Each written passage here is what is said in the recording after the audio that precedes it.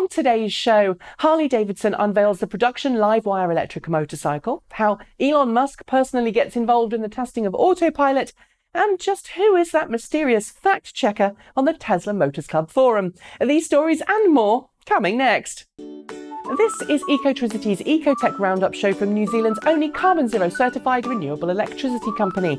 We're 100% Kiwi and 50% community owned. Switch today at ecotricity.co.nz.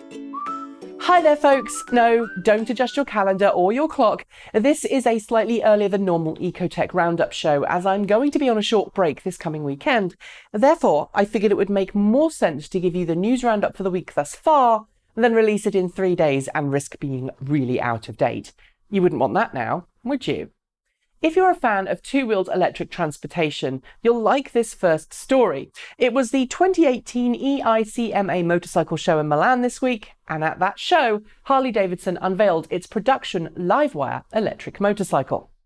It's quite the looker with style that's unmistakably Harley. I almost want to say there's an air of Electra Glide in that light housing at the front. While no official specifications or prices have been listed yet, we can tell you that it comes with level 3 DC quick charging as standard, meaning you'll be able to recharge for the next leg of your ride in about as much time as it takes to grab a quick bite to eat. Personally, I can't wait to get a ride when it enters production next year.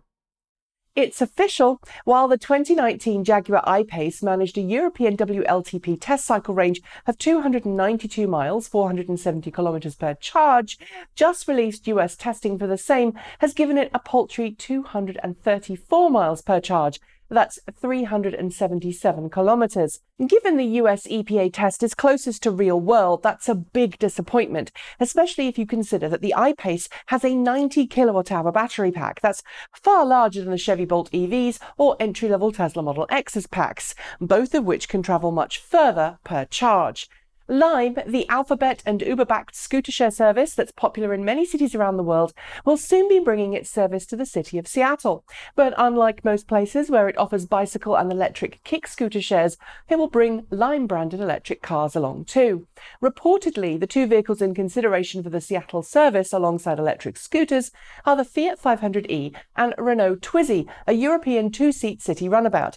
In Europe, the Twizy is allowed to travel at up to 50 miles per hour, 80 kilometers or thereabouts. But thanks to US regulations, any Twizys used in the US would have to be restricted to 20 miles per hour, 30 kilometers per hour, as they were when San Francisco based Scoot trialled them last year.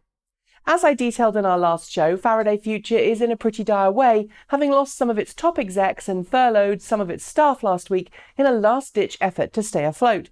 Well, now it appears that some Faraday Future employees have turned to crowdfunding to help staff, launching a GoFundMe page to raise $50,000 to help employees avoid financial trouble while Faraday Future scrabbles to find more capital.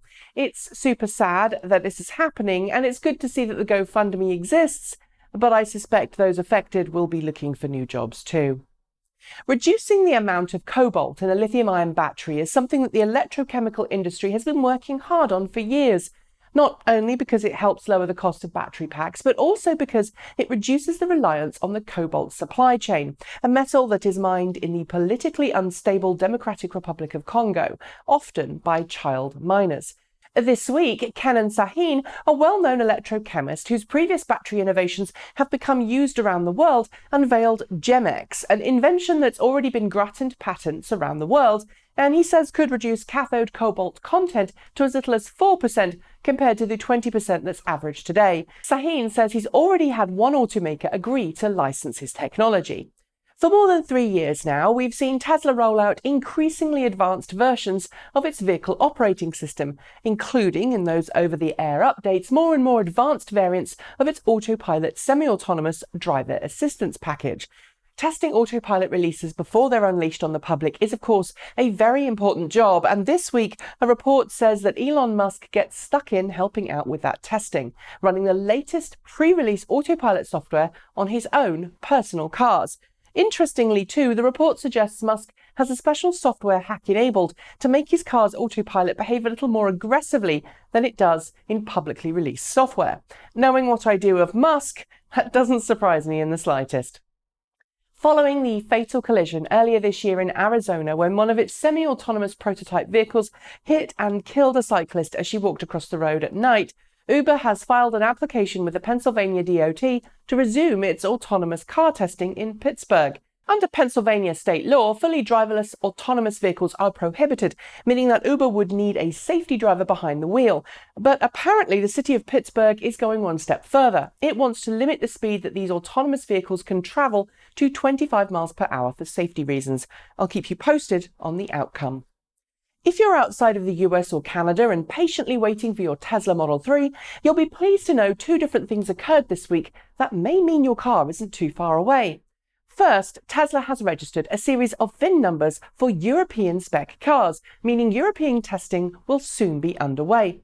At the same time, Tesla has told its first Chinese Model 3 customers that they should expect deliveries of their cars to start in March next year. Sure, it's a pretty long way away, but it does give you something to look forward to. Sadly, though, just like the UK, Ireland, Australia, and a handful of other right hand drive countries, Kiwis will still have quite a wait before the Model 3 arrives because Tesla has said right hand drive is the last variant being made. Sad face. Tesla may already have an order book full for the electric semi, but that doesn't scare Daimler's truck division, which confirmed this week that its own development on production electric trucks is progressing far more quickly than it had originally expected stating that the best battery solution will win in the electric truck segment, adding that it's all about energy consumption, Daimler's head of trucks for North America, Roger Nielsen, said that Daimler would have the highest number of electric vehicles in the commercial segment by 2020. It looks like the battle is on. The Boring Company is getting ready to host a special event on December 10th to showcase its first test tunnel built under Los Angeles. And this week, Elon Musk published a video of the tunnel in its entirety, saying he'd walked the entire length himself. The tunnel isn't particularly exciting per se, but Musk says he wants Tesla to bring some electric cars along to the launch party to add maximum enjoyment to the opening and the day long Ride the Tunnel event the Boring Company intends to hold the next day. Tesla's power packs have proven really popular with homeowners around the world who want to store power generated from solar panels on their roofs or just want a way to store emergency backup power in the case of a blackout. Similarly, we've seen power banks gain popularity with power companies around the world looking to stabilize and green up their grid, such as the massive power bank installations that we've been seeing in Western Australia. Well, now there's a new trial taking place in Meadow Springs, Western Australia, where a single Tesla power bank has been set up in a small community, operating as a grid tied storage device for all the homes it's connected to. Each home taking part in the trial will be able to store and use up to 8 kilowatt hours of power in the power bank at a time. And finally, online, nobody knows that you're a dog. At least that's according to the internet meme.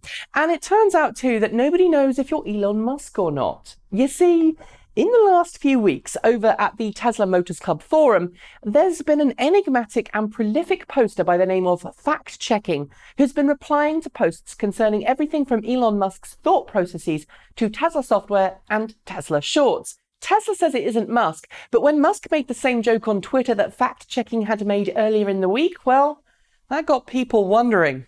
Elon? Is that you, Elon? And on that note, I'm going to say goodbye. Don't forget to like, comment, and subscribe. Tell your friends about the show, and if you've got some feedback, well, send it our way and we'll read it. In the meantime, I hope you have a great weekend, that the rest of your week goes really well, and I'll see you in about 10 days when we get back to our usual schedule. You can find out when we upload new ecoTEC goodness by hitting the bell below. Oh, and while you're at it, don't forget to switch to New Zealand's only carbon zero certified renewable electricity company. Go on, do your bit and help keep emissions as low as possible by getting your electrons free of those nasty greenhouse gases. Thanks for joining me. I'm Nikki Gordon Bloomfield. Kakite! See you next time.